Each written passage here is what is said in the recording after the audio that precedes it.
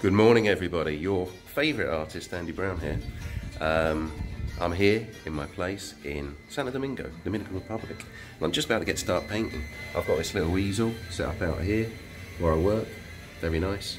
And in here, I've got my YouTube on the TV. Today, I'm listening to Son Cubano. Why am I listening to Son Cubano? I hear you asking. Well, it's a good question. It's because I was taken last night to a Son Cubana dance club.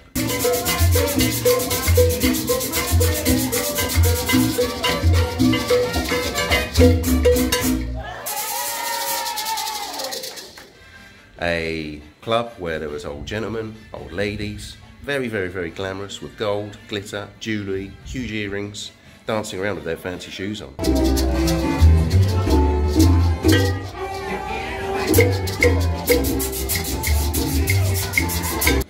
I was there in my shorts and my deck shoes.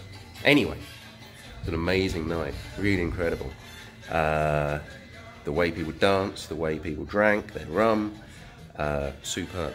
So today we're going to do a little bit of painting uh, on reflection of that to try and remember the the funny and amazing memories of it.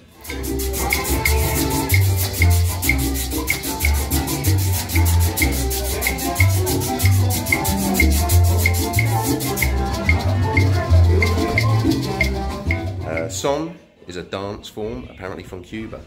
Uh, it sounds a little bit like salsa and all that sort of stuff, but if you get onto YouTube, you'll be able to find it. Anyway, it was quite an amazing night. I was picked up by a, a lady who spun me around for a number of number of minutes, and I think I did. I held my own, but in such a club where everyone's moving so fancifully and gracefully, it was kind of hard work. I don't think I let it show though, but who knows. Anyway, wherever you are today, I hope you're enjoying it. Get some Son Cubano. It's on YouTube. It's pretty good. Pick somebody up, give them a spin, and then at the end of my dance last night, the lady gave me a wet wipe to clean my hands. COVID rules. It kind of killed any passion I thought we generated in the two or three minutes that we're dancing for, but it's better to be safe, isn't it?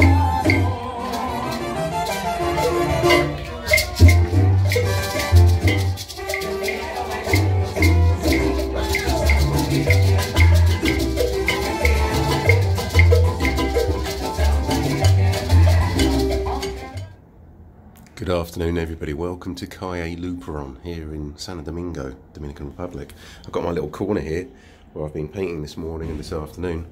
Just some studies from yesterday's, yesterday night's trip out to this Cuban dance bar. Um, they're gouache watercolour and they're just from the photos and videos that I made last night um, of the, the things I saw in, in the club and the things that seemed to stick out.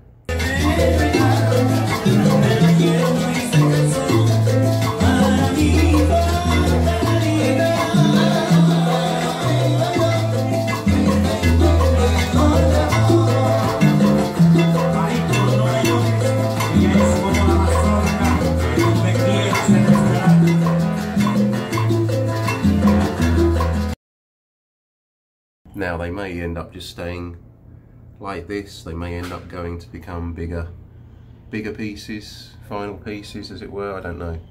But here's some little studies of just kind of little memories, things that stuck out uh, while I was while I was there. Let me know which one you like best in the comments below. I'd be interested to know what you think. Um, thanks for watching. Cheers.